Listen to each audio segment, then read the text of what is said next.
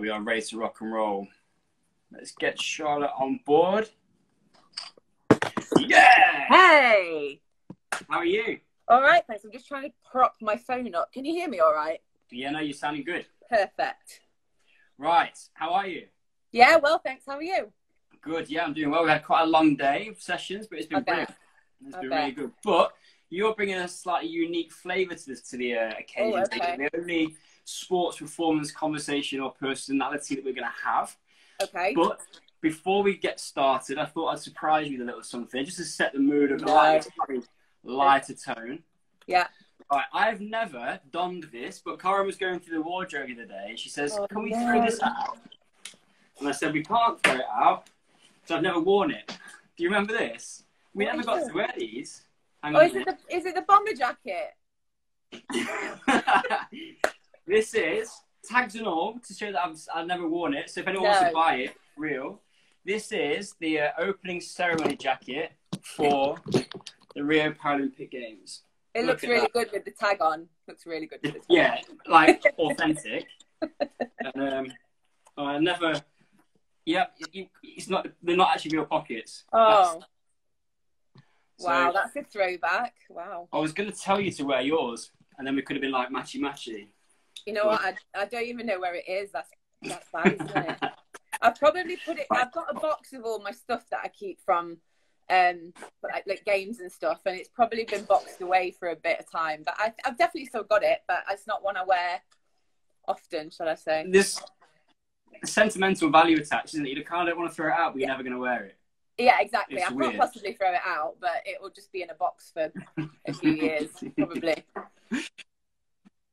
Right, so let's uh, let's dig into a bit of background. I've got a load of things I want to talk about. Give uh, Okay. give us a little bit of an overview. You will do a better job of it than I will do because I'll just big you up for the next five minutes if I do your bio for you.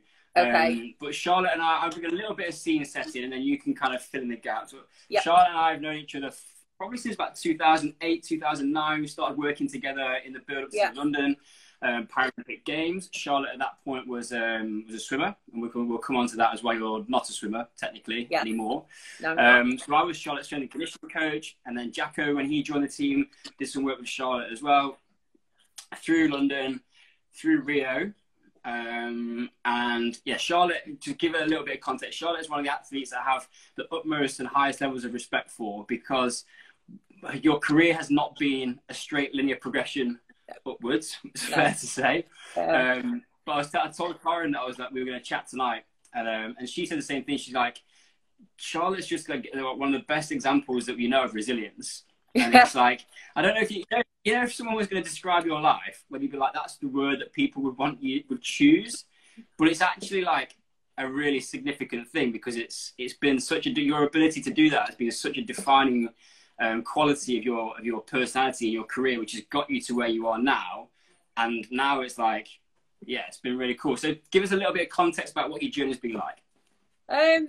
So yeah, I mean, sort of just to go to you, would that be the word that I'd want people to use to describe me? You know, it, there could be worse words to be described by, and I think um, it's not until you take that time to step back and reflect on your career that actually it is quite a that's quite an apt word to use. Um, because like you say, things didn't always go to plan and didn't always go the way I wanted them to. But um, yeah, I was a swimmer for many many years. It was a sport that I had done from being tiny. Um, and that was because really my disability um, i'm a bilateral leg amputee for those that don't know um, it, at the time it was the early 90s it was probably one of the only sports that was available to me at the time that, that um, allowed or had a, a bit of a pathway for disabled kids to, to go down um, so it was a hobby and then when i moved to university it became something a little bit more serious um, that's when i got on a program and funding and everything like that um, went to my first Paralympics in 2008. I was 21, so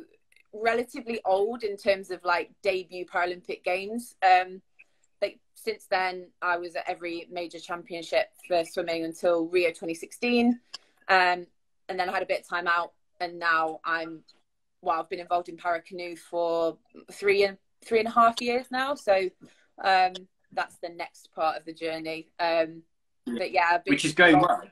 Yeah, really well. Um, yeah, three-time world champion since I moved over, which is not what I expected at all in the first few years. But um, yeah, it's it's an amazing challenge, and it's it's a it's a change that I didn't really know that I needed until I did it, and then I was like, okay, this is where I'm supposed to be for the foreseeable future.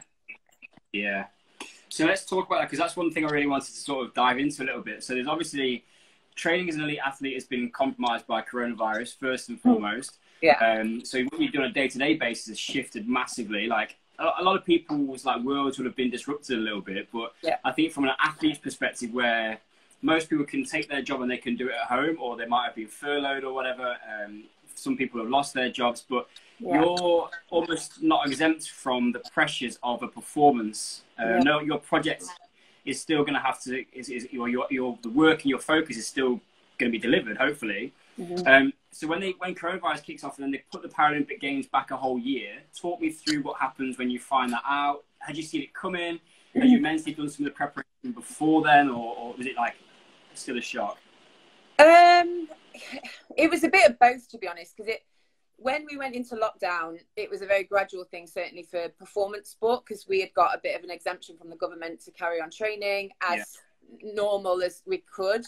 Um, but then when we realised it was becoming too risky for us and everyone else to, to do that, we gradually started to shut things down until eventually we weren't allowed to, to go on the water or anything. Um, and at that point, it was when the athlete voice around the world was probably starting to say, you know, a decision needs to be made. Whatever that decision is, we can't just plow on knowing or hoping that the games will go ahead because it's putting people at undue risk and. You know we couldn't train properly so it added that extra stress to then think well if i'm not training properly how's that going to impact my performance in it would have been sort of four or five months for the olympic guys and only six for us so mm-hmm. we wanted the decision but then when it came it didn't make it any easier to to deal with, um, even though we knew it was the right decision. Um, and obviously, like you know, from a coaching perspective, you write training programs that are planned around a particular point that you want to achieve something. And so our whole four years has been sort of um, structured around performing to our best this September. So obviously, to extend yeah. that by an extra twelve months is was a massive challenge for everyone. They were sort of squirreling away trying to rewrite macros and everything like that.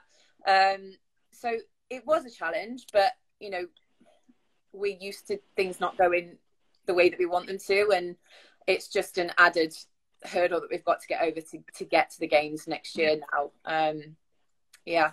Did you feel a sense of disappointment? I'm sorry if you can't hear me. It's just started a thunderstorm. So is it, yeah, it's just right? finished here. Yeah, yeah, I can hear you fine. Uh, okay. yeah. I just way down from Mansfield. Yeah. Um, did you feel a sense of disappointment, or or was it more like an opportunity or, or like because you were peaking right you're looking good right? So you just come yeah. back with a, a, really successful World Championships. Yeah. That's really like exactly from a performance sport perspective what you want that springboard into the games. Yeah. And all of a sudden like okay I've got to do that again now. To then go yeah. springboard again. How yeah. did you feel about that?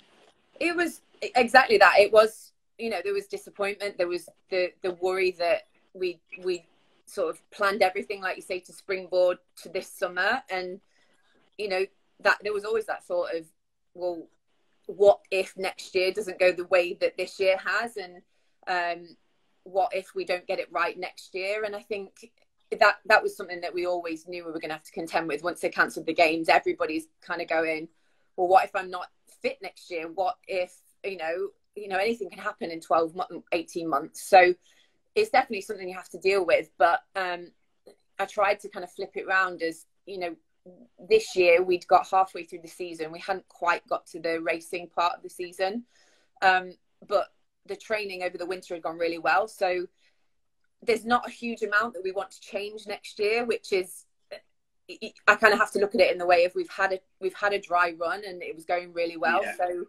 why wouldn't it go the same way next year if we do the same thing but just try and push it on? And so then I started to be really excited about it because I've only been doing the sport for three and a half years. So, you know, mm. how much more can we push it on if I've got an extra year behind me and I've got an extra yeah. year of experience? And I think that's been the whole thing with this lockdown is trying to take the things that haven't gone quite so well or the things that we can't do and focus on something that we can improve because of the circumstance and it might be something that we don't get chance to to work on on a daily basis when everything's normal because we're going full steam ahead with what we've planned but there might be other areas we've not explored that now we have the luxury to explore and, and that's really exciting. Yeah. And what's that look like for you? What areas have you felt like you've had the opportunity to spend some time like focusing in on?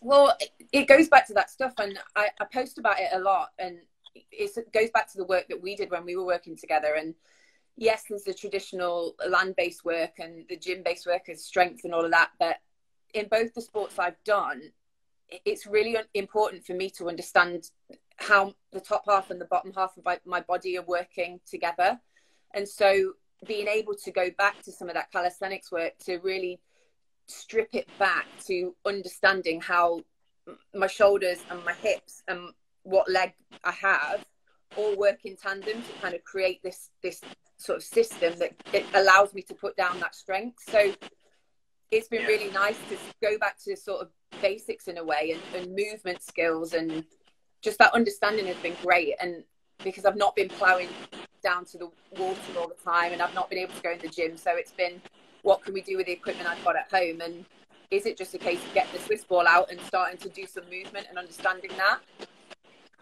Yeah. I'm going to move out of the conservatory. yeah, I wondered what that was. Absolutely. Linging it down. Hang on a minute, bear with me. I'll put a light on in here. Oh, that's fine.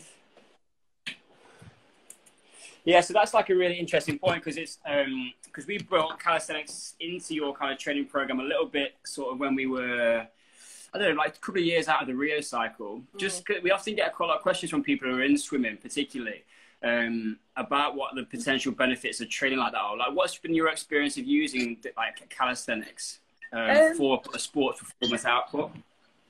I think for me, certainly when I was at swimming, it was because swimming's a, a bit one of those funny sports where yes, you've got to do gym work, but you ask any swimming coach, and and the swimming is the priority, and it it's yeah. the lion's share of what you do in your week. Um, so for me, we kind of understood after a few years of working together that that right balance of gym and water work was perhaps not smashing the weights in the gym because it meant that I couldn't perform in the water, but mm.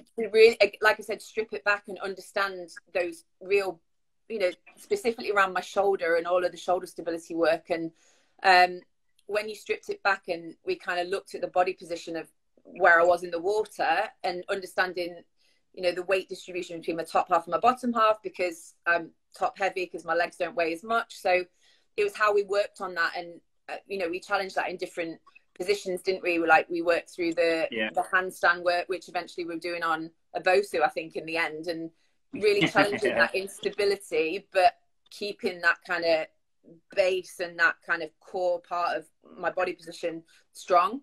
Um, and that and I, I, think it just helped that I was able to do a handstand already, so we could sort of explore a bit more and kind of try a few different things, yeah. which was which was great, and I, I it was really helpful and um, just broaden that understanding, which I think I got to that point in my career that I wanted to understand that what I was doing was was going to transfer to the water, and and and that did yeah. absolutely.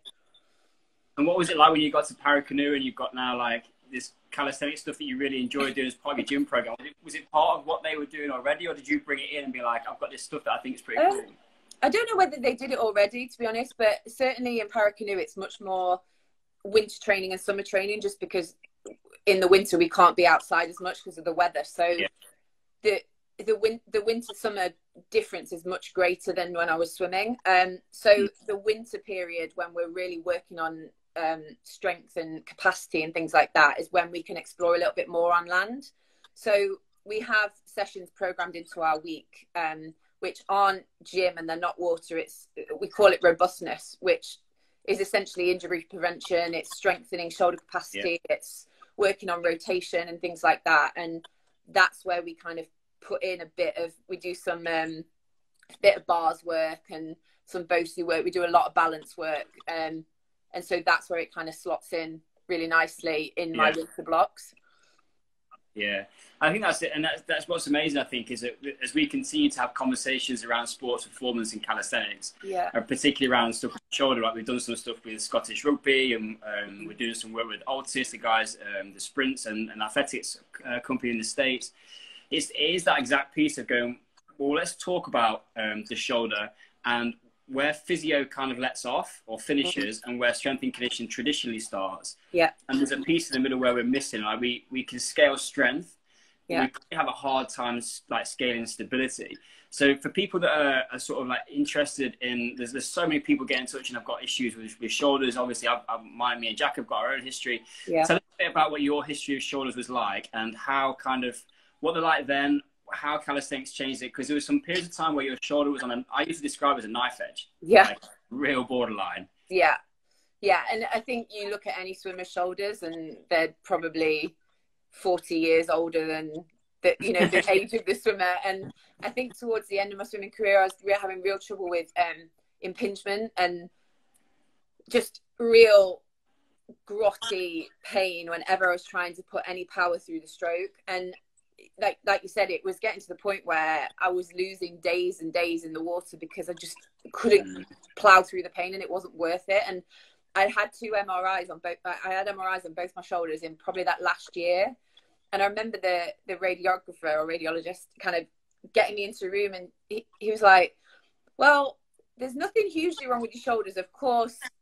When I first looked at them, there was so much like scar tissue and past injuries that he said if I didn't know that you're a swimmer, I would have been really shocked by it. But just the amount of stress that you put through your shoulders when you're a swimmer is enormous and it's relentless mm. repetitions of being overhead, which is a you know, it's a horrible place to put that force down and we're doing it for four hours a day some days and it's just disgusting on the shoulders. But when we we were working together and we kind of started working on that, engaging the scap properly and making sure that I wasn't kind of in those awful shoulder positions and working on posture and the real basic stuff, you know, your your rotations, the the um, internal external rotation work. You know, I think there was one exercise that we did, wasn't it, where it was just like an isometric hold against a wall to try and strengthen yeah.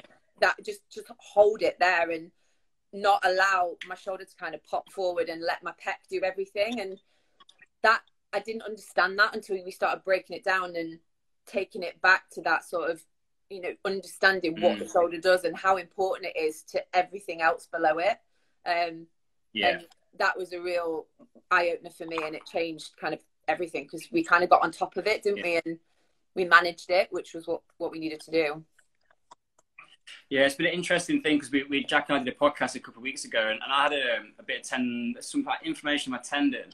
Yeah. Um, in a in, in uh, from the back end of last year into January, and I was starting to get some like I was struggling overhead a little bit, and yeah. what happened is I'd over I'd overloaded and underloaded it in previous to Christmas, so I went away for three weeks, didn't really do a lot on it, yeah. um, and then it just kind of it started to get a bit niggled. But the interesting thing about it was that I'd probably had warning signs of it for about six months before, but it wasn't that bad that I didn't do anything about it. It, yeah. was kind of like I was, I was, aware that it wasn't moving great, but then like when I when I came back, I kind of I tried to rehab it a little bit. Spent some time with a, with a, a session with a physio friend of mine, and um, Gemma Jefferson. You know Gemma. Yeah, yeah, of yeah. course. Of course. Um, so. Um, so, but then I did the same process as what you did, and, and, and when we when we were talking on a podcast with Jack, I just rattled through. it. I was like, "Oh yeah, stripped it back, found out where I was tight, did a little bit of isolated activation, and built the pattern back up, and now it's fine." And, and it's that it's understanding that process of the shoulder requires so much neuromuscular control and precision yeah. that you can't you can't fix very often. I should probably say you can't fix a problem shoulder just by training global movement. Like you've got to go back. And what I'd lost was was a lot of like just that fine motor control around the shoulder of external rotation and yeah. being able to bring the joint head or the head of the humerus into the socket yeah. without, like you said, just cracking into lats and pecs because like, oh, boom, just going to yeah. be strong. Yeah.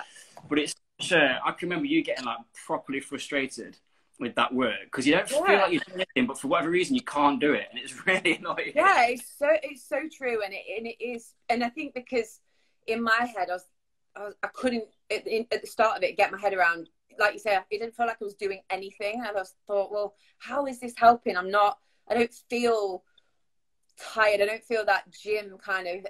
Oh, I'm so tired. I've worked really hard. I, I don't. I didn't feel that, but like, like you rightly said, I was so frustrated because I couldn't do what you were asking of me, and I was literally it was move the TheraBand from here to here without doing, and I wow. just could not do it. And it, it was like it's the most simple movement, but understanding where that you initiate that movement was so tricky to me, and it it it, ha- it does take a real patience and willingness to work through something that perhaps doesn't always feel um, easy or you know even though it's very basic it, it's quite hard to plow through that but it you know obviously it is it's hugely worth it. And the work that it's doing is massive without you really realizing it. Yeah yeah. And it's also fair to say that we were trying to do that work on a Friday morning after you've probably done about eight swim sessions that week. yeah. Probably not yeah. always in the, in the after the swim session. You're not always in the greatest frame of mind. So people are just tired no. now. You know, Tim's giving me stuff which is just pissing me off. Yeah, and I was like, oh, I've just swum for an hour and forty-five minutes, and then I've got to quickly get changed and come straight in the gym and. I was just, yeah. It, I mean, you had a rough deal getting me straight after a Friday morning uh, swim session. But um, yeah, I think the energy levels might have been a bit different on a on an afternoon at the start of the week. yeah, sure. I've just seen that Susie signed in, so uh, oh, swimming. Uh, friend. Yeah. So with all that sort of stuff, shot like obviously, um, I remember one time we were shoulder where it was probably um, one of the, the, the more kind of nerve wracking times for me, and I don't know whether we ever really kind of verbalized it, but you kind of picked a niggle the Christmas or the December before the games, I think in um, which is going to be the following September. I can remember yeah. us being in like March time where we are like, mm, this is a little bit kind of borderline. But yeah. And this is kind of what I wanted to get some of your takeaways on. Like you've been through a number of different processes through your career where, or time periods where you've kind of had to kind of properly do that process of regrouping. And yeah. I'd just be interested. I'm not going to. I don't want to lead you in any, any direction on that one. But like, what have you learned from all those times where you've been in a place where you're like, okay, things are pretty crap right now and I need to find my way out. Or I don't know where the way out is because you've always managed to kind of climb and pick your way through quite a bit of complex situations. Yeah. Um, I, I mean, again, I think it, it's a challenge of any athlete. If you're going to put your body through what you put your body through, you you expect to have niggles and things that affect the the daily routine, which then affects the mind because we love to know that that consistency is there. It's what gives us the confidence when we step out onto the field of play. If you and I remember working with Jacko when I was doing the psych stuff with him, and he he used to say, you know, if you can step out to race knowing that you've done everything that you possibly can, you're in the best possible place to perform.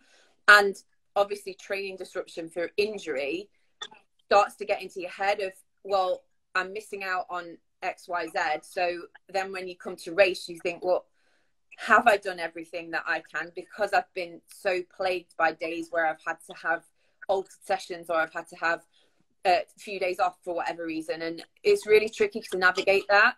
Um, but I think I got better at it as I got older. And I think I started to understand that it was part and parcel of what I did. And I think that's when we kind of stripped everything back and we actually worked out what I needed to do versus what we thought I needed to do. And that in turn had a massive impact on those injuries and things like that were affecting me physically and mentally, stripping it back to, well, the textbook says that we should do X, Y, Z at this point of the season but actually for you it doesn't seem to be working. This is when we always get injured or this is when we pick up uh, a niggle that you know is there any need to do this? Is that affecting the body? And so when we started to play around with things then that was when it gave me that ability to sustain a level of training that was enough.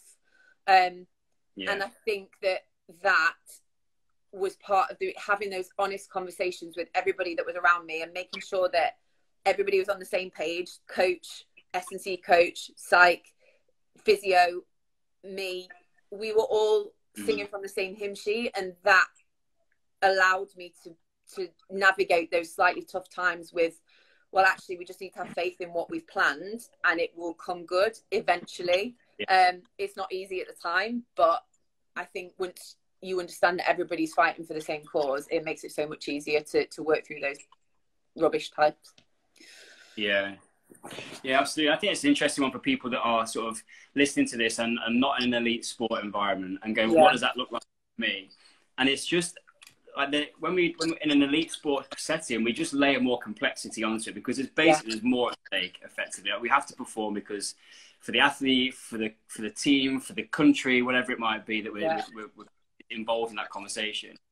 But I think for most people, like there's a couple of things you said there. If they're like training calisthenics or they're training sport or whatever it might be, that they're just enjoying it and they're a recreation athlete. Yeah. There's times of stripping back and working out what you actually need to do because mm-hmm. it's so easy to add more all the time. Yeah. But what actually we're going to be the most beneficial thing is like you said, get back to right. What do I what do I really need to do? Mm. but then also be very clear on what you want out of it. And I yeah. think you got to that point where you've actually started to refine those those processes. You had a very clear goal. You knew what time you had to swim. You knew yeah. what you what you needed to do.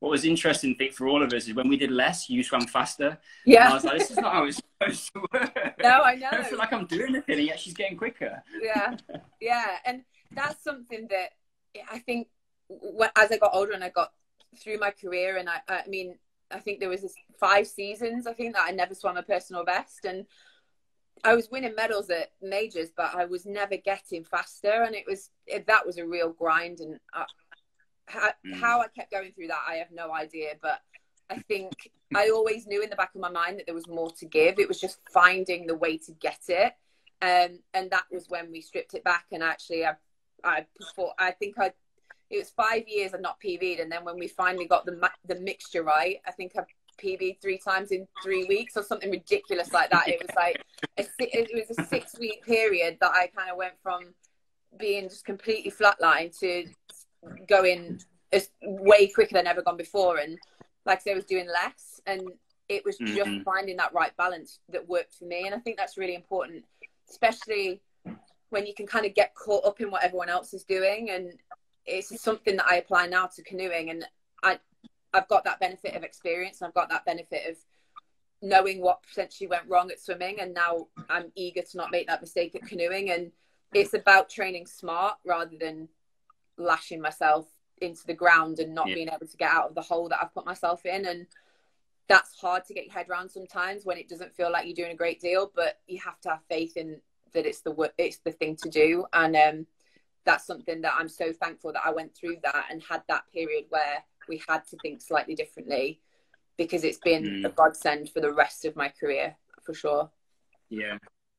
Yeah, definitely. I think that's a, a really important takeaway for people to, to, to, go through that process on a regular basis. Because yeah. we kind of get the fitness industry will pull us into the process of thinking you've got to be the hardest worker in the room. Like you've got to do more than everybody else, and that's how you get better. Yeah. The physiology will tell us that actually, like, and, and, and even as an athlete, because you, you you constantly got that pressure of my competitors might be doing more than me. Yeah. But I think it's when you that maturity that you're talking about now is going. you know what? I'm. They might be doing more, but if I'm doing it smarter, yeah. Like, I, I haven't got to do as much, and and that's right. the whole thing. You need to there's as little as possible to get the most amount of change. Yeah. And when you get that right, then you're going to be in a good place. Absolutely, and it, it's not to say it's not difficult. You know, there's still days where I think, "Oh, I wonder what such and such is doing, and should I be doing that?" But mm. it's it's then having the ability to have those conversations with the people that are around you, whatever that may be, um, and whoever that may be, and and float those ideas. You know, do I need to be doing this? And if not, why not? Um, I'm a big. I want to understand why I'm training. I don't want to do anything if I don't think it's going to better me. Because mm. why would I do that? And um, so I think knowing that and having that freedom to talk to someone and have that conversation. Do we need to do this? What about this? Can we try this?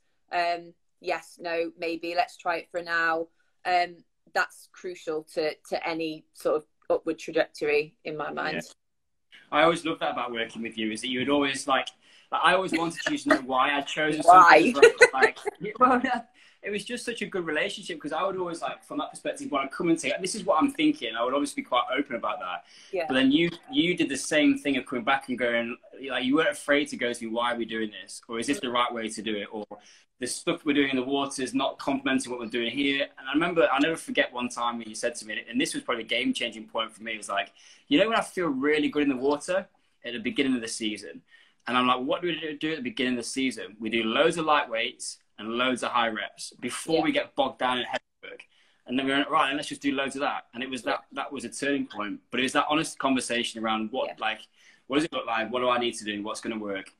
Yeah. Um, so, well, the question before we start to wrap it up a little bit was just around loads of people because they love training and particularly because calisthenics is, is addictive. They want to do more of it, but it's quite high intensity. They find themselves picking up niggles, and like you've had issues with elbows before, with wrists before, with shoulders, like super common injuries in calis- calisthenics. Mm. What is your advice to people who are thinking like they might have a bit of something going on, but they don't really want to kind of acknowledge it? And then also, what what did you learn from like you got quite good at getting over injuries? Like, Mhm. talk to me a little bit around identifying injuries and then also dealing with them. Um, so identifying them, I'm I'm the first person to you know if I and I've been injured since I've been at canoeing. Now it's not shoulders, it's it's ribs and back because of the rotational element. Um, but it's the same sort of thing, and I think the more you can know your body of what's normal for you is the first thing because I know that when I do a certain amount of certainly now in canoeing, it's whenever we change our training block, my back flares up. I know that now, and we can almost prepare for it before it happens. But I wouldn't have known that had I not become very in tune with how my body responds to stuff. So I think the biggest thing is to know your body of what's normal and what isn't, um, and that can be really hard to to start with. To, to know what what's normal and what isn't, um, and it's have that conversation with um, I don't know if you've got a physio or you've got a sports massage person or whatever it is that kind of gets your body through the training. That's first port of call and chat it through and don't ignore it because I've I've done it and thought, oh, that's not felt quite right, but I'll be okay. And then I've carried on training on it and it only has made it worse. And then the time recovery is five times as long or whatever. But it um once you've got those that experience of knowing what's normal for you, it makes it so much easier to identify things and, and alter things before problems get too much of a problem, if that makes sense. Um, yeah. But but yeah, it's tough. It's really tough, and it. But I just kind of got to the point where I was like, I'm putting my body through the ringer. I'm. It's not a machine. Like I, it's gonna give at some point, and it's how you can sort of reduce the give point as much as possible, um, and know when to push and when to say actually this is enough for now. Like we need to just reset and re- recover and go again. Um, Yeah. but it's tough. It's really tough. It's that same thing is I think the point you make about knowing what your body's like in terms of knowing Yeah. yourself and then also just listening because you get plenty of warning signs. It's, it's rare that you Oh. get a niggle where it just goes bang and you're all of Yeah. a sudden, okay, it's a traumatic injury, maybe contact base is a bit different. Yeah. But we're talking non-contact injuries. Yeah. You get signals for quite some time, but Oh, you're, absolutely. you're just not doing anything about it. Yeah.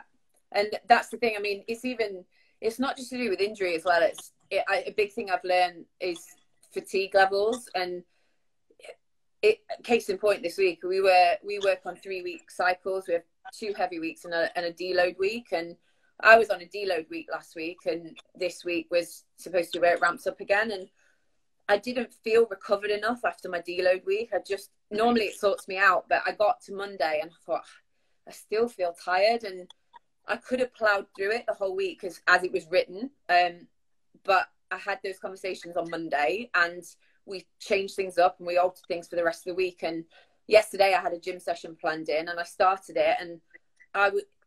I was 15 minutes in and I thought I, I won't be able to finish this to the Mm. standard that it needs to be finished. So what am I getting out of it?